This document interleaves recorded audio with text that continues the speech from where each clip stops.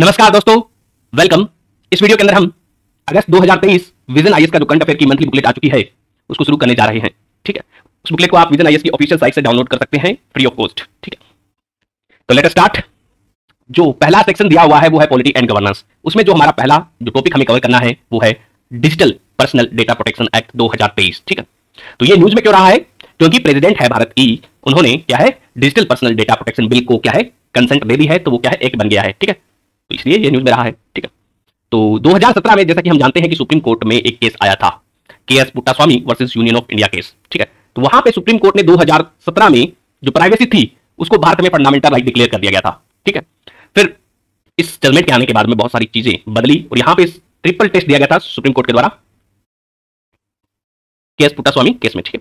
उसके बाद में गवर्नमेंट ने डेटा प्रोटेक्शन करने के लिए क्या है, एक कमीशन बनाया था justice B N Shri Krishna commission या फिर कमेटी बनाई गई थी गवर्नमेंट के द्वारा by Ministry of Electronics and Information Technology to draft the Personal Data Protection Bill in 2018 तो 2018 में ये कमेटी बनाई जाती है मेती के द्वारा, ठीक है?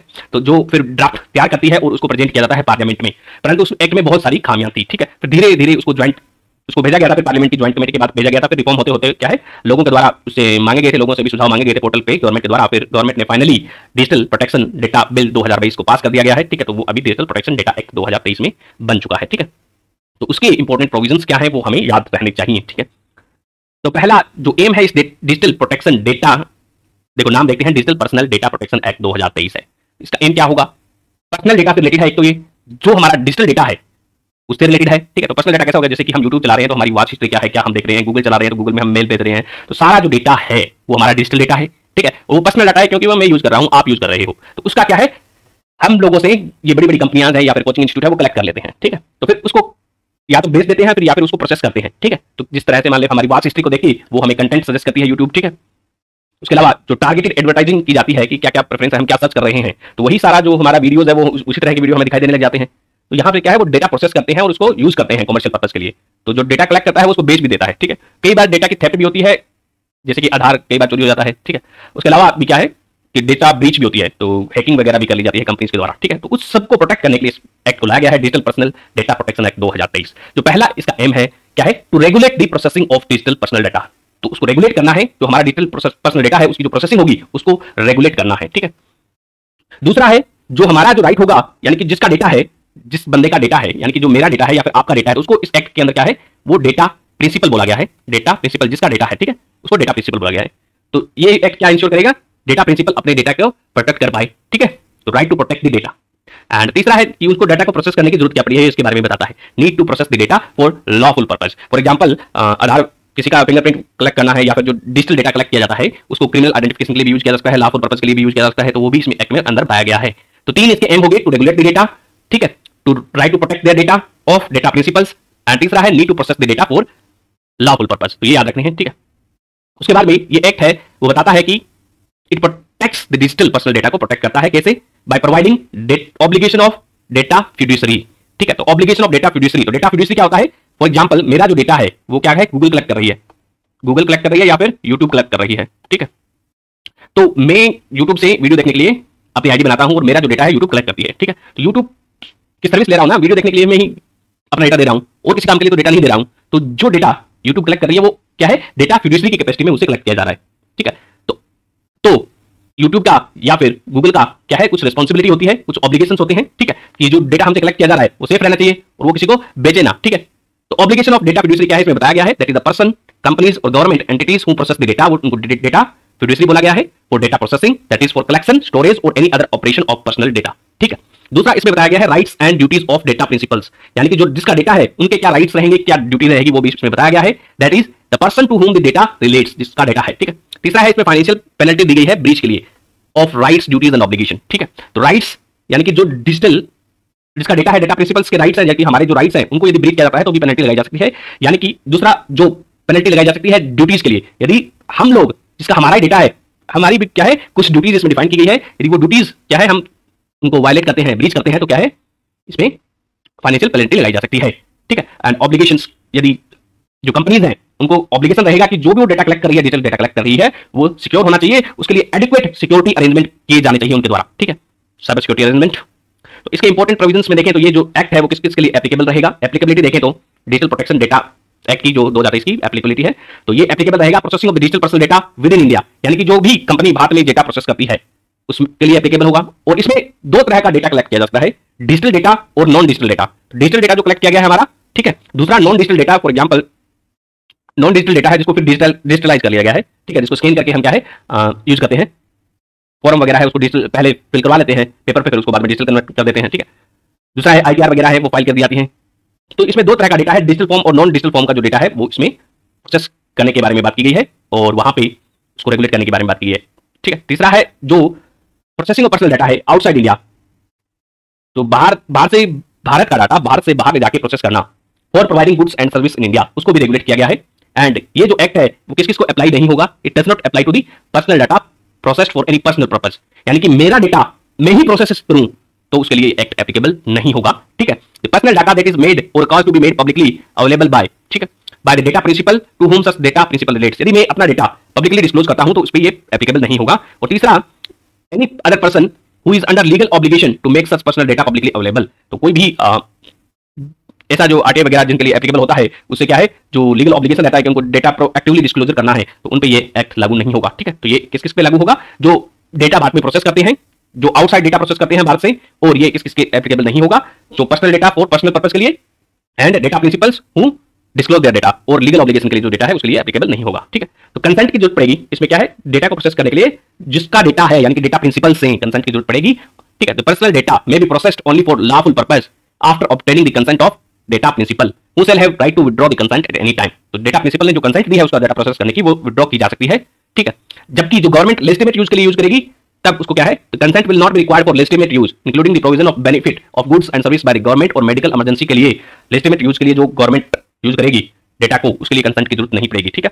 तीसरा है फॉर ए चाइल्ड और a person with disability consent will be provided by parent और लीगल गार्डियन तो बच्चों के केस में और पर्सन विद डिसेबिलिटी है यानी कि दिव्यांग है, उनके केस में जो कंसेंट है, वो पेरेंट या फिर लीगल गार्डियन के द्वारा दी जाएगी, ठीक है? नेक्स्ट ये जो एक्ट है, वो data protection board of India एक बोर्ड गठित करता है। Data protection board of India इसके अंदर बनाया गया है। इट प्रोवाइड्स ये जो बोर्ड है, वो प्रोवाइड करता है, कौन एस्टेब्लिश करेगा? सेंट्रल गवर्नमेंट इसको एस्टेब्लिश करेगी। इस एक्ट के अंदर बोला गया है। एंड इसका काम क्या होगा? ये जो कंपनीज़ हैं, उनकी कंप्लायंस को मॉनिटर करेगा कि वो कंपनीज़ इसको कंप्लायंस को कर रही है या नहीं, ठीक है? यदि नहीं कंप्लाई करती है तो उन पर क्या है? पेनल्टी लगा सकता है, ठीक है? तो monitor the compliance and imposing the penalty दूसरा है directing data fiduciary to take necessary measure in event of data breach तो डेटा ब्रीच हो जाती है कोई यदि हैकिंग वगैरह हो जाती है तो उसमें नेसेसरी मेजर्स हैं स्टेप्स हैं, वो लिए जाने चाहिए डेटा फिड्यूसरी के द्वारा, यानी कि जो डेटा कलेक्ट करता है उसके द्वारा, ठीक है? तीसरा, इसमें जो बताया गया है, इसका जो काम है data protection board of India का hearing the grievances made by affected person यानी कि यदि मेरे को कोई ग्रीवेंस आ जाता है तो मैं क्या है, इस बोर्ड के पास जा सकता हूँ digital protection board of India के पास जा सकता हूँ, और मेरा ग्रीवेंस है, ये बोर्ड कंसिडर करेगा, ठीक है? एंड इसके जो मेंबर हैं, वो दो साल के लिए अपॉइंट किए जाएँगे। Members will be appointed for two years and will be eligible for reappointment के लिए वो एलिजिबल होंगे, ठीक है? एंड इससे मैं सेटिस्फाई नहीं हूँ digital protection board of India से मैं सेटिस्फाई नहीं हूँ तो इसके अंडर इसके बाद में क्या है? अपील वो किससे लाइक करेगी। Telecom dispute settlement and appellate tribunal के पास है। T D S A T के पास क्या है? अपील लाई करेगी इसके बाद में, ठीक है? नेक्स्ट है, इसका इंपॉर्टेंट प्रोविज़न इस एक्ट का है, वो है rights and duties of data principals तो इसमें जो डेटा प्रिंसिपल है, यानी कि जिसका डेटा है, यानी कि जो डेटा जिसका डेटा है, यानी कि यूज़र ऑफ़ कंपनीज़ उसकी क्या है, कुछ राइट्स बताए गए हैं और उसकी कुछ ड्यूटीज़ बताई गई हैं। तो data principal will have the right to किस चीज़ का राइट होगा?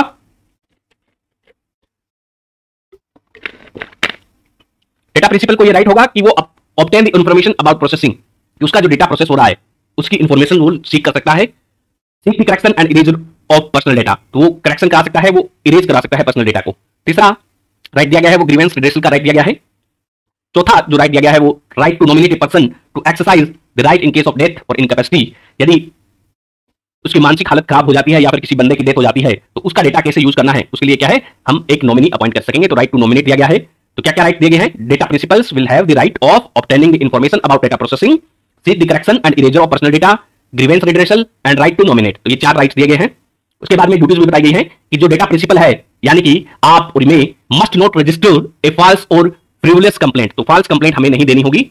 यदि हम ऐसा करते हैं तो दस हज़ार रुपए की पेनल्टी लगेगी, ठीक है? तो violation of duty will be punishable with penalty of rupees ten thousand ठीक है? तो आप उन मुझ पर क्या है, दस हज़ार रुपए की पेनल्टी लगाई जा सकती है। यदि हम लोग क्या है फॉल्स क्लेम करते हैं कि मेरा डेटा चोरी हो गया है या फिर यूज़ किया जा रहा है इलीगली या फिर प्रिवलेस कंप्लेंट देते हैं तो फर्निश किसी भी तरह का फर्निश करते हैं फॉल्स पर्टिकुलर तो दस हज़ार रुपए का आप पे फाइन लगाया जा सकता है, ठीक है? Next is obligation of data fiduciary तो जो डेटा कलेक्ट करने वाली कंपनी है, उसका क्या ऑब्लिगेशन रहेगा? तो डेटा फिड्यूसरी यानी कि जो entity determining the purpose and means of processing must उसको क्या करना चाहिए? Ensure the accuracy and completeness of the data तो जो डेटा कलेक्ट कर रही है कंपनी वो डेटा क्या है? एक्यूरेट होना चाहिए और कंप्लीट होना चाहिए। ठीक है? तो उस, जो डेटा कलेक्ट किया है, उसको क्या है? उसके लिए सिक्योरिटी सेफगार्ड उसके लिए लेने पड़ेंगे, उसको प्रोटेक्ट करने के लिए मेजर लेने पड़ेंगे। अनफ उस पर क्या है? हैकर्स को उससे बचाना पड़ेगा, ठीक है? प्रिवेंट दी डेटा ब्रीच ठीक है? यदि कोई डेटा ब्रीच हो जाती है तो उसको क्या है? Data protection board of India जो स्टेब्लिश किया गया है, उसको रिपोर्ट करना पड़ेगा, उसको इन्फॉर्म करना पड़ेगा। परंतु इसमें क्या है? डेट नहीं बताएगी कि उसको डेटा ब्रीच हो गया है, उसको इतने टाइम में करना है, ये नहीं बताया गया है इस एक्ट के अंदर, ठीक है? तो ये एक इंपॉर्टेंट क्रिटिसिज्म भी रहेगा। कि डेटा ब्रीच तो इन्फॉर्म तो करना है, परंतु ये टाइम पीरियड नहीं बताया गया है, ठीक है? एंड अफेक्टेड पर्सन को भी इन्फॉर्म करना है in event of data breach ठीक है? And erase the personal data as soon as the purpose has met तो नेक्स्ट जो ऑब्लिगेशन है डेटा फिड्यूसरी का, उसको जिस काम के लिए उन्होंने डेटा डेटा कलेक्ट किया है, वो काम पूरा होने के बाद उनको वो डेटा डिलीट करना पड़ेगा। तो erase the personal data as soon as the purpose has met purpose मिल गया, पूरा हो चुका है तो उसको ये क्या है डेटा डिलीट करना पड़ेगा and retention is not necessary और यदि रिटेंशन लीगल पर्पस के लिए नेसेसरी नहीं है तो उसको वो डेटा हटा देना चाहिए, ठीक है? नेक्स्ट है, इसमें एक इंपॉर्टेंट जो डेटा फिड्यूसरी है, वो एस्टेब्लिश किया गया है सिग्निफिकेंट डेटा फिड्यूसरी कंसेप्ट दिया गया है एसडीएफ का, ठीक है? तो इसमें बताया गया है कि सिग्निफिकेंट डेटा फिड्यूसरी कौन है? तो ऐसे जो फिड्यूसरी उसकी डेफिनेशन है, कौन डिक्लेयर कर सकता है सिग्निफिकेंट डेटा प्रोसेसिंग यानी कि जो बहुत ज़्यादा डेटा कलेक्ट करेगा, ऐसा कोई एंटिटी होगी। ठीक है तो central government may notify any data fiduciary as SDF based upon the factors किन फैक्टर के आधार पे सेंट्रल सरकार है, वो इसी डेटा जो फिड्यूसरी है, उसको सिग्निफिकेंट डेटा फिड्यूसरी डिक्लेयर कर सकती है। यदि वो on the basis of volume of data बहुत ज़्यादा डेटा कलेक्ट कर रही है, और जो पर्सनल सेंसिटिव इन्फॉर्मेशन हमारी वो कलेक्ट कर रही है, उस आधार पे किया जा सकता है।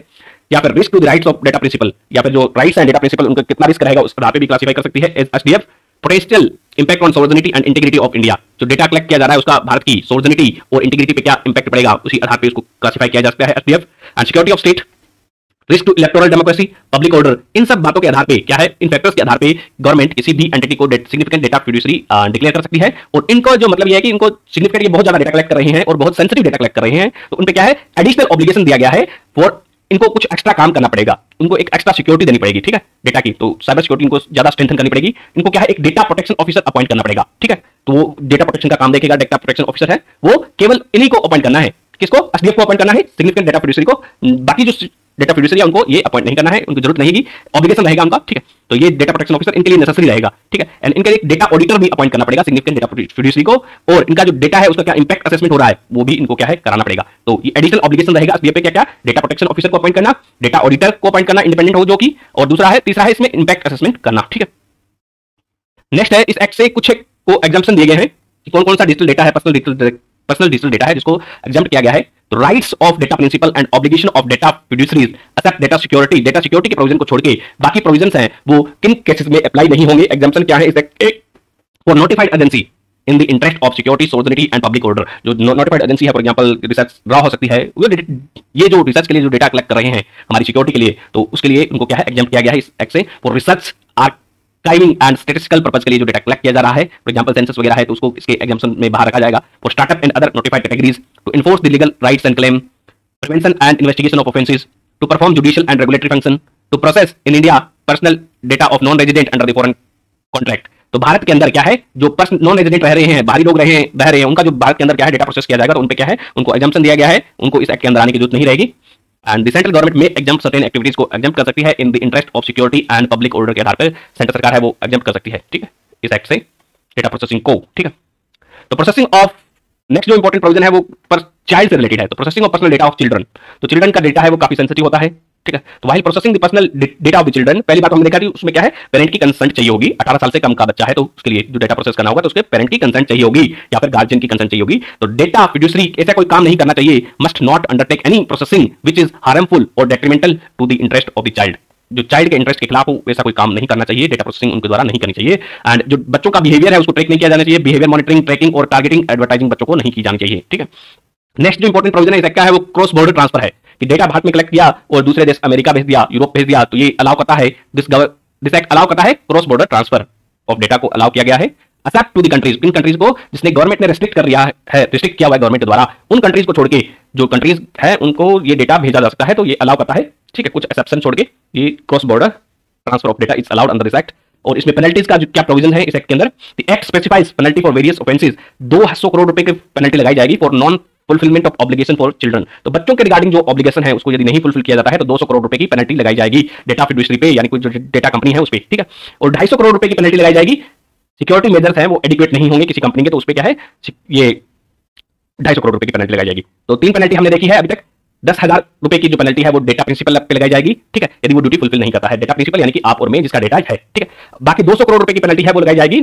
चाइल्ड रिलेटेड जो नॉन चाइल्ड यदि डेटा फिड्यूशरी वो फुलफिल नहीं करता है तो 200 करोड़ रुपए की पेनल्टी लगाई जा सकती है और 250 करोड़ की पेनल्टी है, वो सिक्योरिटी मेजर यदि है, तब डेटा पे पेनल्टी लगा सकती है गवर्नमेंट ठीक है? तो अब इस एक्ट के क्या क्या क्रिटिसिज्म है? उससे पहले हम देखते हैं डेटा प्रिंसिपल्स तो इस एक्ट के अंदर कौन कौन से डेटा प्रिंसिपल्स दिए गए हैं, ठीक है? तो इस एक्ट ये जो एक्ट है data protection act digital personal data protection act 2023 तो ये सात प्रिंसिपल्स पे बेस्ड है। तो इसका एक्रोनिम है, बनाया है मैंने तो इसको आप याद कर सकते हैं कैंपास से C A M P A double S ठीक है? कैंपास तो ये एक्रोनिम है, जिसके अंदर सात जो प्रिंसिपल हैं डेटा प्रोटेक्शन एक्ट के, वो आ जाएँगे, ठीक है? तो एक्रोनिम में क्या देखेंगे? एक्रोनिम बाद में देखते हैं, पहले प्रिंसिपल देखते हैं। तो जो पहला है, जो प्रिंसिपल है, वो प्रिंसिपल ऑफ़ कंसेंट तो कंसेंट का प्रिंसिपल है lawful and transparent use of personal data यानी कि कंसेंट का प्रिंसिपल फॉलो किया गया है कंसेंट लेनी पड़ेगी, ठीक है डेटा कलेक्ट करने के लिए प्रोसेस करने के लिए। दूसरा है प्रिंसिपल ऑफ़ पर्पज लिमिटेशन यानी कि जिस काम के लिए आप डेटा कलेक्ट कर रहे हो तो उसी के लिए यूज़ करना चाहिए। Use of personal data only for the purpose specified at time of obtaining the consent of data principal या जब आपसे डेटा कलेक्ट किया जा रहा है और आपकी कंसेंट ली जाएगी तब तब उसको पर्पज बताया जाएगा, ठीक है? किस पर्पज के लिए डेटा यूज़ किया जाएगा? प्रिंसिपल ऑफ़ डेटा मिनिमाइजेशन तो इस एक्ट के अंदर डेटा मिनिमाइजेशन का प्रिंसिपल दिया गया है। Collection of only minimum data which is necessary for a purpose ठीक है? नेक्स्ट जो प्रिंसिपल है वो प्रिंसिपल ऑफ़ डेटा एक्यूरेसी तो ensuring that data is correct and updated तो उसको अपडेटेड डेटा है करेक्ट डेटा है, वही कलेक्ट करना है। The principle of storage limitation यानी कि जो storing data only till it is needed for specific activity के लिए, जब तक उसकी ज़रूरत है, तभी तक उसको स्टोर किया जाना चाहिए। एंड नेक्स्ट जो प्रिंसिपल है principle of regional security safe तो उसमें सिक्योरिटी है, उसकी डेटा की इंश्योर की जानी चाहिए। और इसमें नेक्स्ट जो प्रिंसिपल है, वो अकाउंटेबिलिटी का प्रिंसिपल है। Principle of accountability through education of data breaches and breach यदि कोई डेटा ब्रीच हो जाता है तो उसके लिए कौन अकाउंटेबल रहेगा? ठीक है? एंड पेनल्टी के लिए किसको अकाउंटेबल ठहराया जाएगा? ठीक है गवर्नमेंट के द्वारा। कोई भी ब्रीच हो जाती है तो उस पर किसका ऊपर फाइन लगाया जाएगा। तो इसको हम देखते हैं तो इसको एक्रोनिम से देखते हैं, कैसे याद रखने हैं तो याद रहेगा, तभी हम इसको मेंशन कर सकते हैं आंसर्स में। ठीक है? तो इसमें कंपास में सी अकाउंट करता है सी फॉर कंसेंट तो कंसेंट का प्रिंसिपल है, ठीक है? ए का A A for accuracy data accuracy होनी चाहिए। उसके अलावा एम का है डेटा मिनिमम होना चाहिए minimum data should be collected ठीक है? पी का क्या है? पर्पज के लिए जो कलेक्ट होना चाहिए data should be for the purpose ठीक है? पर्पज लिमिटेशन पर्पज के लिए।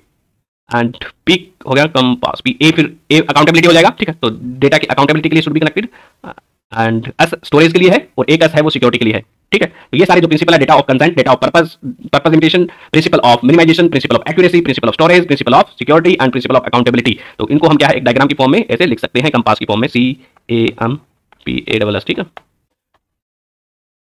आंसर राइटिंग में आप मेंशन कर सकते हो नेक्स्ट जो है, वो हम देखते हैं। इस एक्ट के क्या क्या लिमिटेशंस हैं? सिग्निफिकेंस क्या है? इस एक्ट का पहले हम सिग्निफिकेंस देख लेते हैं, ठीक है? इसके ऊपर सिग्निफिकेंस दिया हुआ था। शुरू में ही दिया हुआ है significance significance of digital protection act क्या है? It introduce the data protection को इंट्रोड्यूस करता है विद मिनिमम डिस्ट्रप्शन तो यानी कि जो कंपनीज़ हैं, उनको सिग्निफिकेंट डेटा प्रोड्यूसरीज है। एसडीएफ को छोड़ के बाकी जो नॉर्मल डेटा कलेक्ट करने वाली कंपनीज़ है, उन पर ज़्यादा ऑब्लिगेशन नहीं दिया गया है, ठीक है? एसडीएफ को ही क्या है? डेटा प्रोटेक्शन अपॉइंट करना है डेटा प्रोटेक्शन ऑफिसर अपॉइंट करना है डीपीओ अपॉइंट करने हैं, इन्हीं को क्या है? फिर ऑडिट कराना है ऑडिट मैंडेटरी किया गया है इन्हीं को क्या है? एक और चीज़ बताइए, ठीक है? तो इन पे क्या है? मिनिमम ऑब्लिगेशन दिया गया है मिनिमम जो है, वो डिस्ट्रप्शन किया गया है सिस्टम का। इट इनेबल इंडिया की डिजिटल इकोनॉमी को ये इनेबल करेगा, इससे ईज ऑफ़ लिविंग बढ़ेगी, और ईज ऑफ़ डूइंग को ये प्रमोट करेगा बिज़नेस को ईज ऑफ़ डूइंग बिज़नेस को ये प्रमोट करेगा, ठीक है? तो डेटा को यूज़ किया जा सकेगा फॉर बेटर के लिए, ठीक है? एंड तो टारगेटेड डिलीवरी ऑफ़ मेडिसिन के लिए कोई डेटा बनाया जा रहा है तो उसको क्या है? ये ईज ऑफ़ लिविंग में भी हेल्प करेगा लोगों की हेल्थ में भी इंप्रूवमेंट में।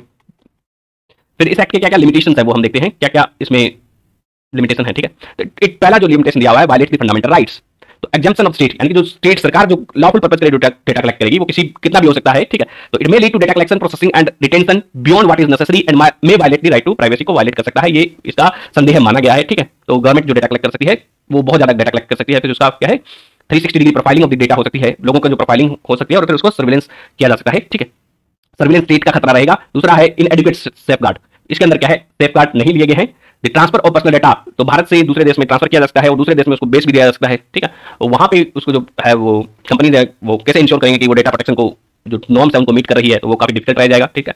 तो ऐसा नहीं नो कंपनसेशन इसमें कोई कंपनसेशन नहीं दिया गया है। The act has removed section 43 of the information technology act 2000 which has mandated company to compensate user in case of mishandling the data तो आईटी एक्ट 2000 के अंदर सेक्शन 43 ए के अंदर एक ऐसा प्रोविज़न था एक ऐसा प्रोविज़न था जो कि यदि कंपनी मिस हैंडल करती है डेटा को या फिर डेटा ब्रीच होती है तो उसमें क्या है कंपनसेट किया जाएगा, जिसका डेटा है डेटा प्रोड्यूसरी को, परंतु इस एक्ट के अंदर कंपनसेशन का प्रिंसिपल नहीं है, ठीक है?